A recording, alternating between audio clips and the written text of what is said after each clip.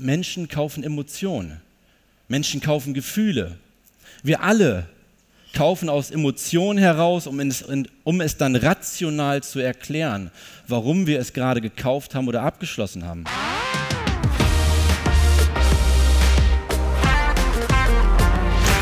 Vielen, vielen Dank und herzlich willkommen. Ich hoffe, ihr alle hattet eine angenehme Anreise und genießt den Aufenthalt hier bei uns. Den meisten von Ihnen wird dieser Begrüßungssatz sicherlich bekannt vorkommen.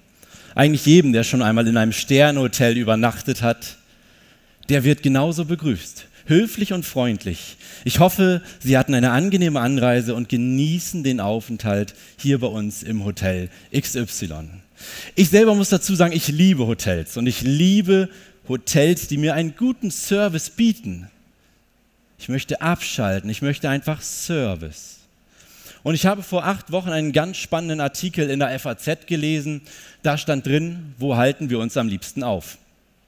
Erstmal habe ich mich gefragt, okay, woher wissen die Leute das? Dann habe ich den Artikel durchgelesen und als erstes wurde das Zuhause genannt. Das ist für, ist für mich selbsterklärend und als Immobiliendienstleister super. Ihr haltet euch alle am liebsten zu Hause auf. Und danach kam der Urlaub. Auch das war für mich ganz klar. Jeder von uns, und ich glaube wirklich jeder, macht gerne Urlaub. Und die, die sagen, nee, mag ich nicht, das nehme ich euch nicht ab. Aber speziell stand da geschrieben Urlaub in Hotels. Warum? Weil wir möchten einen Service genießen, den wir oftmals zu Hause nicht bekommen. Wenn ich jetzt fragen würde, wer von Ihnen hat eine Hausbedienstete oder einen Hausbediensteten, gehen ganz wenig Hände hoch. Also im Urlaub möchten wir einen Service genießen, wo wir abschalten können und uns fallen lassen können. Und der CEO eines ganz großen deutschen Reiseveranstalters saß letztens mit mir zum Mittag und hat gesagt, Benny, ich muss wieder nach Mallorca. Und ich dachte mir, super, ich komme mit. Aber er ist nicht dorthin geflogen, um Urlaub zu machen, so wie viele von uns auf Deutschlands, des deutschen Lieblingsinsel, sondern er ist dorthin geflogen, um die Hotellerie wachzurütteln. Mallorca möchte einen Imagewechsel, weg vom Sauftourismus hin zu einem Urlaubsparadies. Und er ist dorthin geflogen und hat gesagt, Benny, ich muss die wachrütteln, weil die Konkurrenz im östlichen Mittelmeer bietet wesentlich mehr Service, mehr Qualität für weniger Geld. Wesentlich mehr Service, mehr Qualität für weniger Geld. Und für mich war super spannend, dass dieser Mann als erstes von Service gesprochen hat. Und der Preis, wo viele sagen, der Preis ist heiß, der Preis ist wichtig, der war ganz unten. Ich habe mich mit dem Thema Service die letzten Jahre so intensiv beschäftigt wie sicherlich wenige. Und ich habe aktuell sechs Standorte im Nordwesten Deutschlands und wir haben eine Umfrage gemacht. An jedem unserer Standorte und sind auf die Leute zugegangen und haben gefragt, wann würden sie ihren Dienstleister wechseln? Und zwei Zahlen haben mich unglaublich überrascht. Eine ganz hohe und eine ganz tiefe. 7000 Leute. Und 64 Prozent haben gesagt, die wir auswerten konnten, 64 Prozent haben gesagt, ich würde meinen Dienstleister wechseln, wenn der Service nicht stimmt. 64 Prozent, eine Wahnsinnszahl. Und nur 11 Prozent haben gesagt, ich würde meinen Dienstleister wechseln wegen des Preises. Und in dem Moment wusste ich wieder, dass dieser Mann, dieser CEO, recht hatte. Die Leute legen Wert auf Qualität. Die Leute sind bereit, Geld auszugeben, aber sie möchten Service. Wer von Ihnen hat denn ein Lieblings-, ein Stammfriseur oder ein Stammrestaurant? Wenn ihr beides habt, könnt ihr gerne beide Hände hochnehmen. Sieben von zehn Leuten, die zu ihrem Stammfriseur gehen, gehen dorthin, weil sie sich dort wohlfühlen. Den guten Haarschnitt, über den man sich streiten lässt, oder streiten kann, den setzen sie voraus. Sieben von zehn gehen dorthin, weil das Rundumpaket stimmt. Und in der, in der Gastronomie, in der Hotellerie ist es noch extremer. Acht von zehn Kunden gehen zu ihrem Lieblingsgriechen, zu ihrem Lieblingsitaliener, weil sie sich dort zu Hause fühlen. Und oftmals sogar denken, sie gehören zur Familie oder sind Freunde der Gastronomen. Acht von zehn gehen dorthin, obwohl sie wissen, woanders ist, sind die Speisen genauso gut oder sogar besser. Aber ich fühle mich dort wohl. Menschen kaufen Emotionen. Menschen kaufen Gefühle. Wir alle kaufen aus Emotionen heraus, um es, um es dann rational zu erklären, warum wir es gerade gekauft haben oder abgeschlossen haben. Und ich wollte immer verkaufen. Ich wollte immer reden. Schon damals, wo meine Mutter mich durch den Ort geschoben hat, haben sicherlich einige gedacht, ich wäre ein Schreikind. Ich war ein Kommunikationskind. Die Leute haben mich nur nicht verstanden. Wirklich. Und wo ich dann mega glücklich nach der Beendigung meiner schulischen Laufbahn nach Hause gekommen bin und gedacht habe, jetzt geht das Geldverdienen los. Jetzt steige ich groß ein in egal was verkaufen, Hauptsache verkaufen. Bin ich auf meinen Vater zu, habe ihm das Zeugnis gezeigt. Ich war begeistert, er weniger. Und er sagte, Benny, du willst doch Verkäufer werden. Und ich sagte, ja. Und er sagte, sehr gut, dann gehst du ins Hotel. Und ich dachte, was? Okay. Und ich sagte nochmal, Papst, ich will Verkäufer werden. Und dann sagte er, wie gut willst du werden? Und dann sagte ich, die kleinste Nummer, die Nummer eins.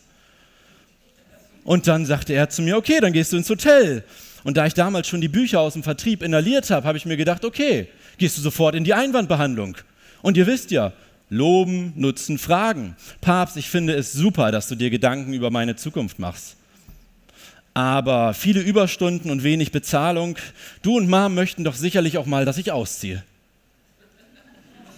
Was hältst du grundsätzlich von Immobilienkaufmann oder Versicherungskaufmann? Nein. Es war wirklich, ich hatte keine Möglichkeit. Ich war 17, konnte mir also keine eigene Wohnung leisten und mein Vater hat dann gesagt, okay, ab ins Hotel. Ich bin also in die Ausbildung zum Hotelfachmann gegangen, um verkaufen zu lernen. Das erschloss sich für mich erst gar nicht.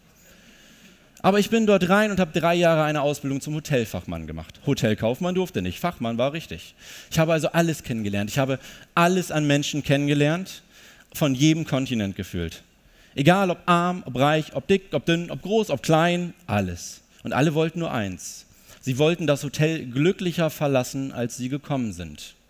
Und am 23. Oktober 1907, kurz vor meiner Zeit, eröffnete Lorenz Adlon das weltbekannte Hotel Adlon, damals noch unter den Linden 1.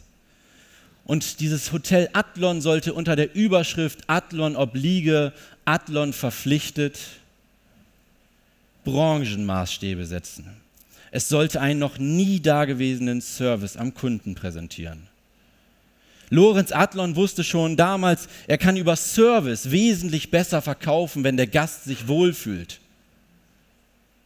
Und das war das Erste, was mein Direktor mir am ersten Tag erzählt hat. Und so bin ich durch meine Ausbildung gelaufen. Und eine Geschichte blieb mir besonders im Kopf. Gisela und Reinhold. Martens, die Namen sind natürlich ausgedacht. Gisela und Reinhold checkten ein. Reinhold war so groß, circa 60, Gisela war so groß, so eine richtige Grand Dame. Und alles, was Reinhold machte, war falsch.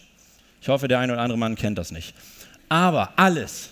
Falsches Zimmer, falsches Hotel, falscher, äh, falscher Berater, mit dem er gesprochen hat das Hotel war zu dunkel, zu hässlich, keine Ahnung was. Es war alles falsch. Und die waren zehn Tage da. Und jeden Tag hat Reinhold auf den Deckel gekriegt. Reinhold war schuld, dass die Eier zu kalt waren und nicht unser Koch, Reinhold. Immer drauf auf den. Und der war halt nur 1,60. Der wurde immer kleiner. Und am siebten Abend saßen Reinhold und ich da, äh, Reinhold und ich, ich und meine, ich und meine Kollegen zusammen, zwei männliche Azubis, und wir dachten uns, wie können wir Reinhold helfen? Und wir hatten keine Ahnung, wie Männer nun mal so sind. Wir fachsimpeln viel, aber haben dann meistens wenig Ahnung. Und dann kam eine Kollegin um die Ecke und sagte zu uns, ja, was macht ihr denn da? Und dann sagen wir, wir reden über Reinhold und Gisela. Und sie fängt schon an zu lachen, weil jeder kannte sie. Und dann sagte sie, Männer wollen doch immer Helden sein. Ja, die Frau hat's drauf. Männer wollen doch immer Helden sein. Und am nächsten Morgen sind wir direkt zu unserem Direktor hin und haben gesagt, Herr, G, also Herr, Herr Gramm, Herr Gramm, ähm, Männer wollen doch immer Helden sein und wir würden gerne Reinhold und Gisela was wirklich Gutes tun. Wir möchten Gefühle erwecken. Und er sagte, kein Problem, heute ist Mittwoch, die sind nur noch drei Tage da, bis Samstag verkaufen wir die Suite sowieso nicht, gebt ihr den als Upgrade umsonst. Und ich dachte, wow, das hätte ich nicht erwartet.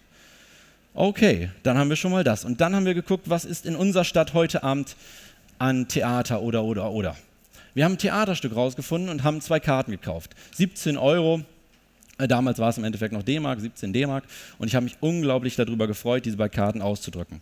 Ich bin im Endeffekt dann mit der Kollegin, weil sie hatte die Idee, auf die beiden zu und sagte, Herr und Frau Martens, Ihr Zimmer ist endlich fertig. Und ich wollte mich noch einmal dafür entschuldigen, Herr Martens, dass wir Ihnen das Zimmer nicht vorher fertig machen konnten. Wir hatten ja den Wasserschaden. Aber dafür stellen wir Ihnen jetzt für die nächsten drei Tage eine Suite zur Verfügung, wie Sie es im Endeffekt für Ihre Frau gewünscht hatten. Und er wusste gar nicht, was los war.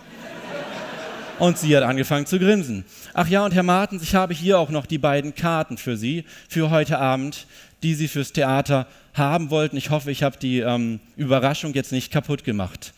Und Angelika war sowieso schon 1,90 und die wurde drei Meter groß gefühlt, sprang Reinhold um den Hals, hat ihn geküsst, als wären sie 16 und gerade frisch verliebt.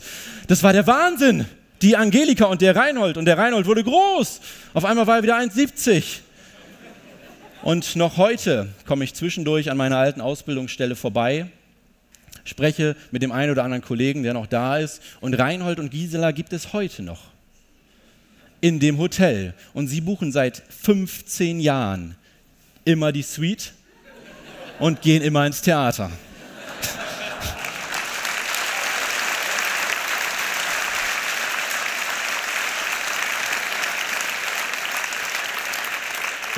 Wir haben also durch besseren Service 15 Jahre Suite verkauft. Der Direktor ist leider nicht mehr da, sonst würde ich ihm eine Provisionsrechnung schicken.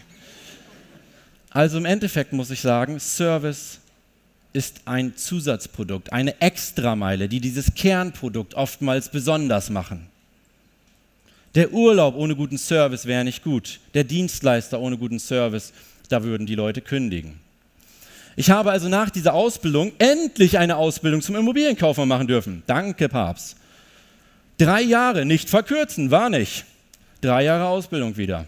Und nach diesen drei Jahren habe ich mich selbstständig gemacht und einen Immobiliendienstleister gegründet. Ein Maklerunternehmen. Und ich wollte dieses Maklerunternehmen eins zu eins aufbauen wie ein Fünf-Sterne-Hotel. Und ich verbringe jetzt noch unglaublich viel Zeit in Hotels und sitze einfach nur da und gucke zu. Damit ich lerne von denen. Was können wir mitnehmen? Und so ist meine Rezeption, meine Rezeption, das ist ganz einfach. Mein Service ist mein Verkauf. Meine Küche sind meine Backoffice-Damen und Backoffice-Herren, weil die bereiten den Teller vor, die kochen das Essen und der Service, mein Verkauf liefert es nur. Wir haben einen SOS-Service auf der Fünf-Sterne-Hotellerie übernommen, dass jeder, egal ob Azubi im ersten Ausbildungsjahr oder Geselle, der schon seit 2009 bei mir ist, sofort 400 Euro eine Besonderheit für den Kunden herholen kann. Wenn irgendein Missgeschick passiert, das nennt sich SOS Save Our Service Funktion, kommt aus der gehobenen Hotellerie. Meine Wellnessabteilung ist meine Marketingabteilung, weil sie muss es doch schaffen, dass der Kunde sich wohlfühlt und angesprochen fühlt. Und so habe ich versucht, komplett quer zu denken. Wie wird der Kunde empfangen? Handschriftlich wird er bei uns empfangen im Besprechungsraum mit einer Karte. Sehr geehrter Herr Schmidt, wir freuen uns recht, dass Sie bei uns vorbeigekommen sind, wollte ich schon fast sagen. Sehr geehrter Herr Schmidt, wir freuen uns, dass wir Sie in unserem Immobilienbüro begrüßen dürfen und hoffen, sie haben einen angenehmen Aufenthalt. Jeder Kunde nimmt es in die Hand und freut sich darüber, der fängt an zu grinsen. Und das bitte könnt ihr auf jedes Unternehmen übernehmen. Tausend Sachen. Schickt ihr noch Geburtstagskarten raus? Wer von euch kriegt noch Geburtstagskarten von seinem Immobiliendienstleister oder Versicherungsmakler? Das ist viel weniger geworden. Die Ansprüche am Service sind drastisch gestiegen, die Qualität unglaublich gesunken. Und ein guter Freund von mir hat ein großes Autohaus und meinte, Benny, was kann ich übernehmen? Und ich sagte, was möchtest du denn? Und er sagte, ja, ich möchte, dass die Leute noch glücklicher sind, während sie ein Auto sich anschauen. Und ich sagte, ja, was machen die denn immer? Ja, keine Ahnung. Ich sage, ja, das ist schon mal eine gute Voraussetzung. Und dann habe ich mich dort hingesetzt und habe geguckt, was die machen. Und tatsächlich macht jeder, wirklich jeder macht ähm, die Mittelkonsole auf. Warum? Auf zu, immer gleich groß, auf zu. Und ich sage, da legen wir Schokolade rein. Und er sagt, wie, wir legen da Schokolade rein. Wir legen da einen handschriftlichen Zettel rein, wo drauf steht, lieber Kunde, ich hoffe, dass Ihnen das Auto gefällt und wenn Sie es umdrehen, sind Sie noch glücklicher. Das haben wir da reingelegt. Und die Leute haben es rausgenommen, haben es gelesen, haben es umgedreht, haben gegrinst und gelacht. Das ist so einfach. Die Hotellerie, die Fünf-Sterne-Hotellerie macht es uns vor. Und Tim Bensko hat ein ganz tolles Lied darüber geschrieben. Hat er natürlich nicht darüber geschrieben, sondern er hat ein Lied geschrieben, was hoch heißt. Aber in diesem Lied heißt es halt, wie viel, die Menschen fragen mich, wie viel Extrameter gehst du? Ihr fangt in Zukunft bitte erst an zu zählen, wenn es weh tut. Das ist sein Lied und das muss der Servicegedanke in Deutschland sein. Wenn ihr quer denkt, dann kopiert die Fünf-Sterne-Hotellerie, denn Service macht Spaß. Wir wollen glücklich sein. Wir lieben es, glücklich zu sein. Wir lieben Service. Wir kaufen Emotionen, wir kaufen Gefühle. Und von daher, ich bedanke mich bei euch für einen ganz, ganz tollen Aufenthalt heute Abend. Dankeschön.